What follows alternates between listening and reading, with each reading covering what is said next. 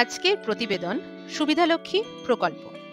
বীরভূম জেলার অন্তর্গত দান্নপাড়া সিংহি, হাড়মুড়, হুলিয়া, প্রান্তিক, নাহিনা, সাঁইথিয়া, সুরি হাতোরা এবং অভিরামপুর অঞ্চলে সুবিধার পক্ষ থেকে বিভিন্ন এনজিওর সহযোগিতায় স্বাস্থ্য সচেতনতা এবং পরিবার পরিকল্পনামূলক কয়েকটি অনুষ্ঠানের আয়োজন করা হয়েছিল।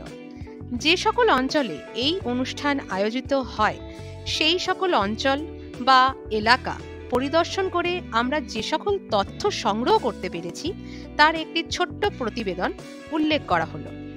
সুবিধার পক্ষ থেকে এই সকল এলাকায় যে অনুষ্ঠানগুলির আয়োজন করা হয়েছিল, তাতে প্রায় হাজার জনের কাছাকাছি মহিলারা অংশগ্রহণ করেন। এই সকল অঞ্চল পরিদর্শন করে দেখা যায়, প্রায় পঞ্চাশ শতাংশ মহিলারা সুবিধা ব্যবহার করে উপকার লাভ করেছেন।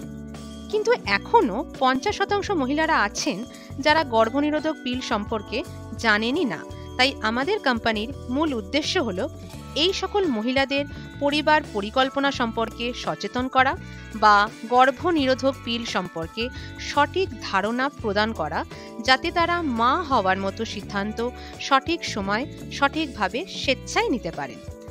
এখানকার যে সকল মহিলাদের গর্ভনিরোধক পিল সম্পর্কে কোনো ধারণাই নেই, তাদের অনেকের মধ্যেই উপায় না থাকায় বন্ধাত্মকরণ এবং লাইগেশনের মতো স্থায়ী পদ্ধতি অবলম্বন করতে দেখা গেছে।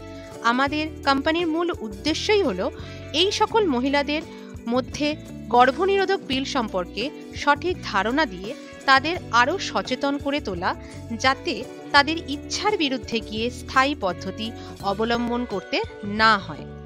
সুবিধার পক্ষ থেকে মহিলাদের পরিবার পরিকল্পনা ও সুবিধা গর্ভনিরোধক পিল সম্পর্কে সচেতন করার জন্য যে উদ্যোগ নেওয়া হয়েছে, সেই উদ্যোগকে এখানকার অধিকাংশ মহিলা স্বাগত জানিয়েছেন।